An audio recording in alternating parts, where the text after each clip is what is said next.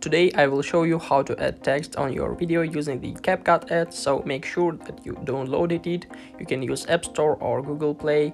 So let's open our app and then go to new project and choose the necessary video we want to add text on. I would like to add this one. So I will mute the volume and now I would like to delete the last part so the first step we need is just to find the moment we want to add our text on the video. So just click on the timeline and choose the necessary moment. So right up here. The next step we need is just to click on text button right up here and then cl click on the add text. So now we need to enter the text we would like to add. So i would like to add winter has come.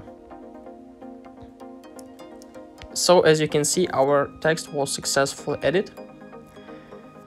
So we can add edit it right up now. We can resize it using all the fingers. We can change the positioning of it. We can also change the duration on the timeline. Just click on the necessary corner and then we can choose the time it will be appear. So now it looks like that. We can also change our text or add the animation. So click on the animation right up here and we can choose the other options. I would like to add this one. So now it looks like that.